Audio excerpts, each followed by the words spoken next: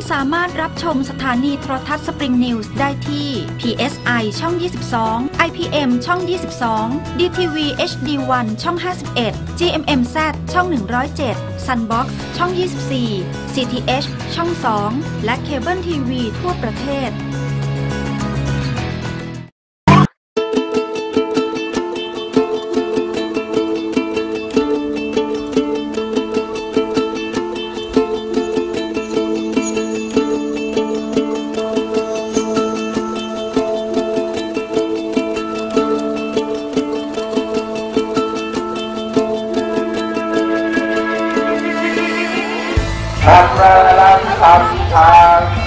น้ำ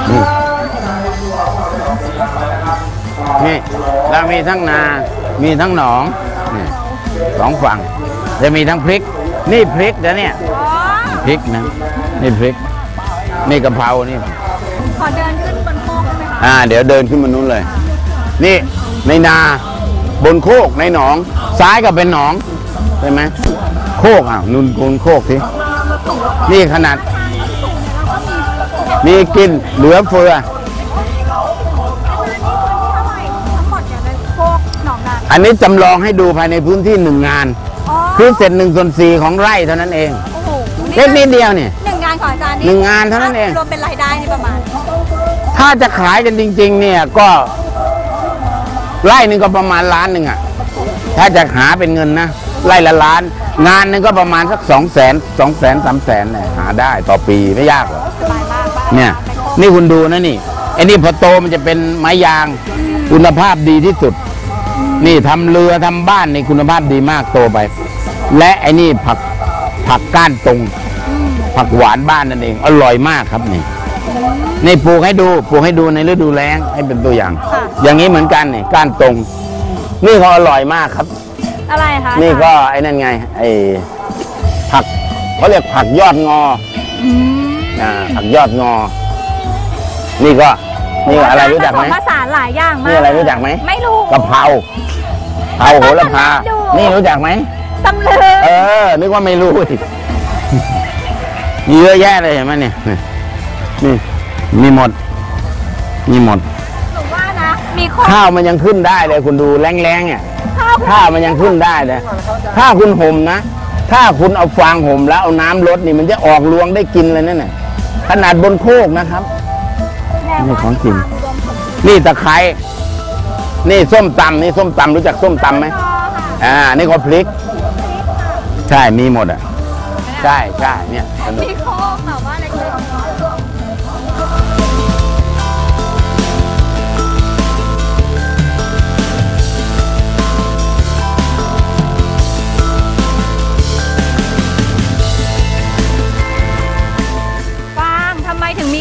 อดทางเดินเลยคะฟางเนี่ยมีวัตถุประสงค์สองอย่าง ค่ะ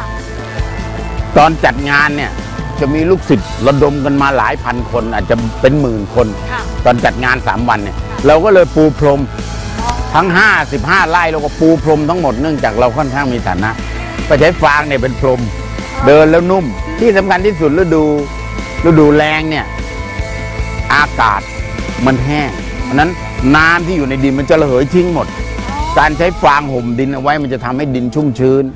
เราไม่ใช่แดแค่ด ปูพรมธรรมดานะใช่เรามีแดดเผาเนี่ยมันจะเผาเอาน้ำไปหมดเลย เพราะฉะนั้นหน้าแรงต้นไม้จะเฉาตาย ถ้าเรามีฟางห่มไว้เนี่ยแดดเผามันไม่ถูกดินค่ะนั้นอากาศก็จะเก็บความชื้นดินก็จะเก็บความชื้นไม่ได้ ก็จะเป็นการป้องกันไม่ให้ต้นไม้ตาย นี่คือประโยชน์ของเขานั่นเองใช่ในพัเอาเขามีภาษาเกษตรเขาจะเรียกว่ามันชิ่งคือคุมความชื้นเอาไว้ นะครับรถสีขาวนี่นะครับคาพาของเช่าเสาร์อาทิตย์อาจารย์มาเลยอะนี่ ไม้ทุกชนิด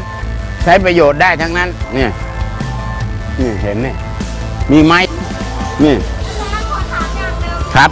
ทำไมอาจารย์ถอดรองเท้าอะคะมันไม่ใส่รองเท้าที่นี่ไม่มีพิษ เราไม่ได้ใช้สารพิษเลย ว้าวแล้วดีที่สุดคือ ถ้าเท้าเราได้เดินนวดกับพื้นสักเจ็ดชนิดต่อวัน ค่ะมันจะทำให้ระบบในร่างกายแข็งแรง โอ้ผมอายุ 16 แล้วนะเนี่ย อายุแข็งแรงไหม อะไรอะไรเท่าไหร่อะ16 แล้วยังแข็งแรงอยู่เลย เดินขึ้นเขายังไม่มีอาการเหนื่อยเลยเห็นปะหนูรู้แล้วข้อสำคัญคือต้องนวดเท้าทุกวัน อย่างน้อยสักสี่ชั่วโมงเดินอย่างเงี้ยอาจารย์แล้วสำหรับคนกรุงเทพล่ะจะเดินที่ไหนอะก็บานที่นี่ไง เอาวันเสาร์อาทิตย์คุณจะไปเที่ยวเต้นระแบะเต้นลำระบำลำฟ้อนทำไมเนี่ยมาเดิน มาเดินขึ้นโคกอ่ามาเดินบนโคกบนหนองบนนานี่แหละ เดินให้ได้สักสามสี่ชั่วโมงคุณจะแข็งแรงมาก นี่เป็นเคล็ดลับสุขภาพดีใช่ใช่สิบหกแล้วยังโถโถยังคืออาจารย์ไม่มีเดินหงื่อแข่งกับผมมันนี้เป็นธรรมดา ไม่มีเหงือเงี้ยไม่มี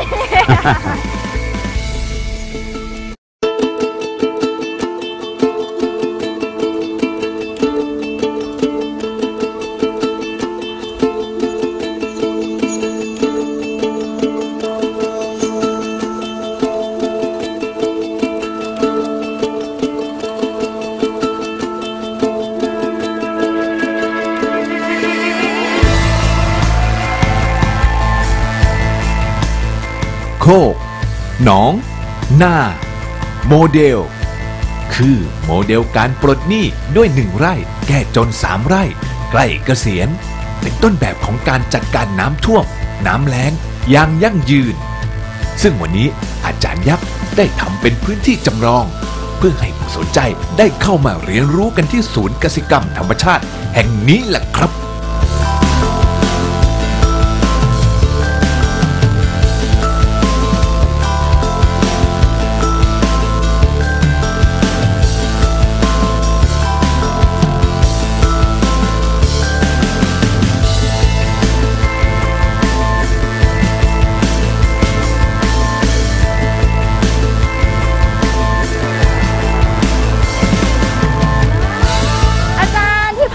นูมายืนตรงเนี้ยคือโคกหนองนาโมเดลใช่ อาจารย์รบกวนอธิบายหนูหน่อยได้ไหมคะ คือง่ายๆ โดยธรรมชาติเนี่ย ค่ะ โคกก็คือภูเขา โคกคือภูเขา ภูเขาเล็ก ๆ เรียกว่าโคก ถ้าภูเขาใหญ่ ๆ ก็เรียกว่าเขา เขา อันนี้มันภูเขาเล็กๆเขาเรียกว่าโคก ค่ะ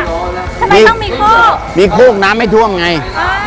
เวลาเราขุดหนองน้ำเอาไปไว้บนโคกน้ำมันไม่ท่วม ฝนตกบนโคกมันชะเอาปุ๋ย ชะเอาอาหารทุกอย่างมารวมไว้ในหนอง อ่า เรากั้นฝายกันฝาย กั้นฝายไว้ น้ำมันก็อยู่ในหนอง แล้วเราก็ปล่อยไปเรื่อยมีหลายหลายๆหนอง ออกจากหนองไปลงท้องนา ท้องนา ใช่ เรามีโคกหนึ่งโคกสองโคกสามนี่มีสามโคกที่นี่ อ๋อเคยได้ยินไหมตำบลสามโคก เคยได้ยินนั่นแหละ มาจากนี่เองใช่ไหมอันนี้สามโคก นี่โคกหนึ่งโคกเรียกว่าหนองหนองก็มีหลายหนองเห็นไหมนี่มีหนองน้ำเยอะเลย นี่ สังเกตไหมจะมีหนองน้ำมาเรื่อยบ้านลืมหมดหรือดาราก็เอาไปๆก็มีฝายไว้เป็นช่วงช่วงนี่มีฝายชะลอน้ำเป็นช่วงช่วงช่วงใหญ่ก็ตัดทำเป็นรูเป็นยังไงเนี่ยใช่ จากหนองน้ำก็จะมาลงไว้ในนา นี่ก็จะลงในนา อาจารย์มีโคกหนองนาแล้วประโยชน์ที่ได้อะคะคือบนโคกเนี่ย บนโคกก็จะมีป่า ป่าก็จะเอาไว้สร้างบ้าน เอาไว้เป็นอาหารค่ะเอาไว้เป็นความร่มเย็นให้เอาออกซิเจนให้มนุษย์ แล้วก็เอาไว้สร้างบ้านด้วยมามีเรียกว่ามีสี่พอ พออยู่พอกินพอใช้ ร่มเย็นสบายพอ ป่านะบนโคกนะ และเอาใช้หนีน้ำท่วมบนโคกในหนองเอาไว้ที่เก็บน้ำมีปลา มีผัก มีปลา และท้องนา ก็ไว้ปลูกข้าวและปลาจะอยู่ในนา มีข้าวมีปลาในนานี่ ข้าวนี่ไล่ไล่ละตันก็หมื่นกว่าบาท ถ้าจะตีเป็นเงินนะ ค่ะค่ะแต่ปลานี่ ไล่ละตันนี่แสนกว่าบาทนะถ้าจำเป็นต้องใช้เงินก็พอหาได้ไม่ยาก เราประยุกต์ประยุกต์ทฤษฎีใหม่ของพระองค์ท่านค่ะที่คนทั่วไปรู้กันว่า 30 30 30 และสิบป่ะคะและอ่า10 30เปอร์เซ็นต์แรกก็ขุดแหล่งน้ำอ่าคุณแหล่งมีหนองน้ำค่ะเราก็ปรับเป็นภาษาบ้านๆว่าหนองน้ำค่ะขุดดินเอาไปไหน เอาไปทำโคกเอาไว้หนีน้ำท่วม มีหนองน้ำไว้สู้ภัยแล้งและท้องนา 30เปอร์เซ็นต์ก็หาที่ปลูกปลูกบ้านปลูกผักปลูกหญ้าอีกสักสิบเปอร์เซ็นต์นี่แหละคือประยุกต์เอาทฤษฎีใหม่ของพระองค์ท่านมาเป็นแบบบ้านๆเรียกว่าโคกหนองนาถือว่ามันไม่ใช่วิธีที่ยากนะอาจารย์ไม่ยากเลยเขาบอกทฤษฎีใหม่ชาวนาก็มึนทฤษฎีอะไรวะงงอีก ทฤษฎีพระองค์ท่านเอายกขึ้นนิ่งไว้เลย ไม่ทำ แต่พอบอกโคกหนองนา เอานี่มันคำเป็นนี่พ่อแม่ทำมาก่อน คนชาวบ้านเอาเลยโคกหนองนาที่ทำเลย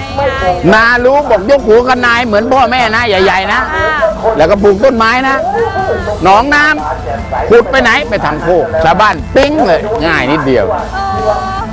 นี่เป็นการประยุกต์ประยุกต์แบบบ้านอาจารย์ถ้าชาวนาทำได้เนี่ย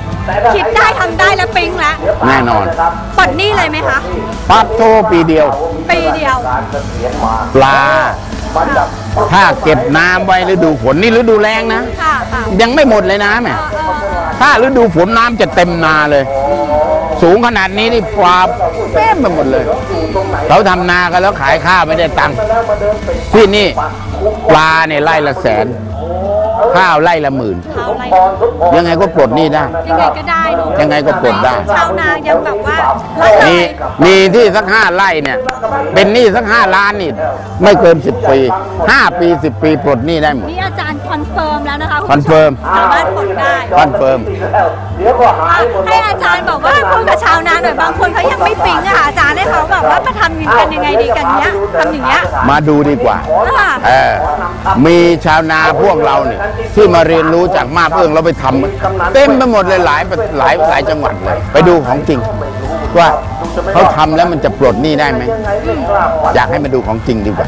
คุยไปเดี๋ยวจะว่าโม้ไม่ได้โม้เรื่องจริงเอออามีจาตัวรย์อย่างแล้วถ้าเกษตรกรทำได้ผลผลิตเยอะอย่างเงี้ยเขาไม่มีช่องทางจำหน่ายอาจารย์มีที่แนะนำไหมอะว่าโตกับมันมันมีกินมีอยู่มีใช้จะไปกังวลเรื่องจำหน่าย ของเราดีอ่าคุณภาพดีเก็บได้นานอ่า ไม่มีพิษ ก็กลัวว่าใครก็อยากได้ใครไม่ต้องไปกลัว กลัวจะไม่ทำเออกลัวจะไม่ทำไม่ต้องกลัวจะขายไม่ได้ ค่ะคุณมีของดีปลอดภัย ใครก็เฮโลโลมาแย่งกันแน่นอนไม่ต้องกังวล ค่ะอันนี้ก็อาจารย์ confirm แล้วยังไงก็เชิญ confirm ชาวนาทุกคนค่ะลองทำดูโคกหนองนาโมเดลสำหรับวันนี้ขอบคุณอาจารย์มากนะคะ ยินดีครับยินดีครับยินดีครับ คอนเฟิร์มหลักปรั ชญาเศรษฐกิจพอเพียง และเกษตรทฤษฎีใหม่ หากนำมาปรับใช้กับเกษตรกรรม เชื่อว่าชาวนาไทยค่ะ ไม่มีจนแน่นอน และเดี๋ยวช่วงหน้าค่ะ เราไปพบเรื่องราวดีๆ กันต่อในช่วง CSR special